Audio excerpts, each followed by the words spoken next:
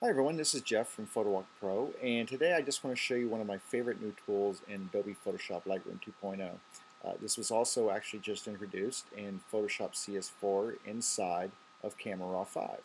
But for those of you who own uh, Lightroom 2, you don't have to go out and get CS4 if you don't want to because you've got this tool available to you right within Lightroom. And that tool is actually the adjustment brush. So what I did was this image right here was was uh, enhanced using the adjustment brush with some great dodging and burning.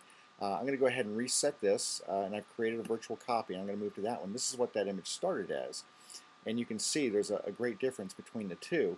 And the whole idea was I really wanted to um, to emphasize the girl with the chainsaw working on this uh, this carving right here that she was doing. And you can see I've got a lot of people in the background here. And so she kind of gets lost in the confusion and everything. Unfortunately, where I was and the lens I had and everything else didn't really allow for that. Plus, it was a really bright sunny day. So the whole idea is to put some emphasis on her and take it off of the surrounding areas. So really, real quick, I'm going to go ahead and make a couple of minor adjustments uh, using uh, the basic panel just to kind of bring down the exposure a little bit. Um, I'm going to go ahead and bring my blacks up just a little bit. Now you can see here my histogram warning says I've already got some blacks in here, but that's okay because if I click on it, you can't really see them yet. There's some really deep shadow areas where it's saying, hey, you've got too much black, but I don't really care about those. What I care about are blacks in the areas of interest, and as you can see, I slide that up and it, the blacks start going crazy, but I'm going to take that down. I just want to basically uh, really reset my black point to an area that I think is just right for this image. Let me turn that warning off up there. Okay, uh, so I've got pretty much the exposure set for her that I want, uh, but I still have this area up here that is really light and very much distracting from the final image. So what I'm going to do is two things. One is I'm going to crop in and kind of take this image down and make her the focal point, uh, which is what I would have liked to have done in camera. I just didn't have the right lens at the time. So I'm just going to go ahead and crop in, and that's pretty good right there. Now the other thing I'm going to do is I'm going to separate her out from that background by doing what they used to do in the darkroom called burning. Um, you can do it in Photoshop, uh, but they've got a great tool to do that now, and that's this adjustment brush. So I'm going to click on the adjustment brush, and that's located right up here in your panel. Uh, just click on it once, and when you do that, you're automatically going to create a new uh, adjustment brush. Um, and you can actually have multiple adjustment brush actions going on. Uh, the, what I'm going to do is I'm going to go in here. You can see you've got different things you can use the brush for. I'm going to choose exposure, and I'm going to actually set my amount down by, let's say, uh, you know what, I'm going to drag this down to one stop just to start with. And as you can see on here, let me put this on a dark, dark area here, this brush right here um, allows you to paint. That inner circle with the crosshair is the painting area, but then that outer circle is how it, it feathers. And it'll actually feather that effect out till it fades to nothing around that circle. Now you can actually control that. If you hold down the shift and you hit your left bracket key, you get less feather. If you hold your just keep hitting your right bracket key, you get more feather. So uh, you can also, when you let go of the shift key, you can increase the size of that brush and you can decrease the size of that brush. So that's what uh, the controls are for that. Now down here is a really cool thing, and I'm going to zoom in one more time for you. Right here is the area called Auto Mask. Now what Auto Mask does is it actually, um, actually, you know what? Let me uh, let me show you what it does without the Auto Mask as you're starting to paint in here with this adjustment brush, it'll actually add what's a kind of a mask. If I hold over this point right here, you can see there's the mask right here. This, this kind of red area shows you the mask. Now that mask will go everywhere you paint, but if you turn on this auto mask area right here, what happens is, and actually, you know what, let me, let me show you right here. I'm going to paint over in this area by her arm, and if I run over that spot again, it'll show you that it actually bleeds into her arm a little bit. Now let me go ahead and undo that one and turn this auto mask on. And now what happens is the auto mask will actually see that contour, those contrast lines where her arm meets the background, and it will hold that masking from entering into that space. It actually masks out that area and allows you to kind of paint freely in here and really start to, uh, now in these areas up in here, you can see where I'm getting this kind of funky lines.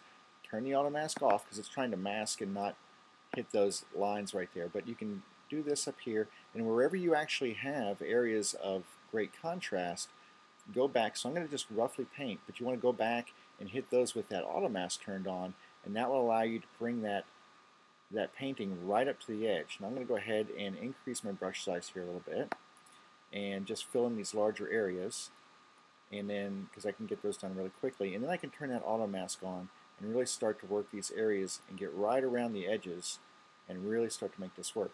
Now another thing I can do is if that's not dark enough for me at the time I can actually take my exposure and lower it down a little bit so I can really see where I'm starting to paint here. Okay, I'm going to take it all the way down because it's too much but it gives you an idea of exactly where you've painted. Alright, let me turn that auto mask on. I'm going to make my brush size a little smaller and I'm going to go ahead and zoom in a little bit just so you can see how when I'm painting right here, that auto mask will take it right up to the edge, but it's not going to go inside. So I can do this really quickly and go right around the edges there, and you can see I get right up into that edge there, and it's not bleeding into that area. This is just so amazing, and it is such a time saver. Um, it works better with areas of high contrast, um, but I'm telling you what, this thing is truly an amazing thing. So let me zoom back out and just do this real quickly around through here. And I'm just going to try to get this done as quick as I can and hit these areas around here. And you see, wherever I have those contrast lines, it's kind of holding it out. Now, I did get the hat there, but you know, I can go back and fix that um, because there's also a subtraction tool in here. So if I've got anything that's too dark, and you can see when I hit over this, you'll see the mask pop up again. There's my mask. Now you see I went into her hat a little bit. Um, all I can do is hit this, uh, this plus button right here, or I can actually just hold down the Alt key and you'll see I get a minus inside there. So I can actually just undo or paint out that area that I put too much into. Just like that. Alright, and maybe down into the brim of her hat just a little bit like that. Alright, now like I said, that's a little too much. So now I can go back and I can take that exposure and pull it back up to somewhere that looks a little bit better right about, well, let's, well, let's go right about, let's see, what do you think? Right about there. Um, so now I've got her separated out. You can see it's a very clean, um, very clean masking job. I'm going to go ahead and zoom in here so you can see.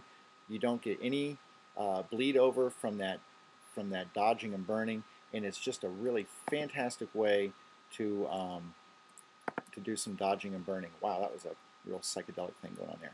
Um, real great way of doing some dodging and burning. The last thing I would probably do is, you know, maybe play with my tone curve a little bit just to um, get a little bit more contrast in there for her. And then, I don't know, maybe just, well, you got to go in and you got to do some sharpening because sharpening's a requirement.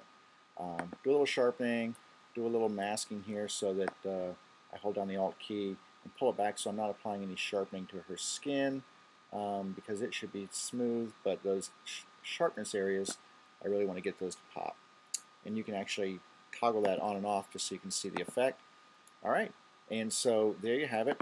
That's uh, a little bit of the adjustment brush. It goes so much deeper. You can do so many other things with it. You can control um, local area contrast. You can control sharpness, uh, saturation, clarity. Um, you can soften. It actually has a soften skin feature. So if you're doing uh, a portrait retouch, you can go in and use that brush just on the skin. It'll soften the skin, but leave the rest of the image, you know, nice and crispy sharp. It's a fantastic tool. If you haven't played around with it yet, you got to check it out. Uh, my name is Jeff, and I'm from Photo Walk Pro. Have a great day.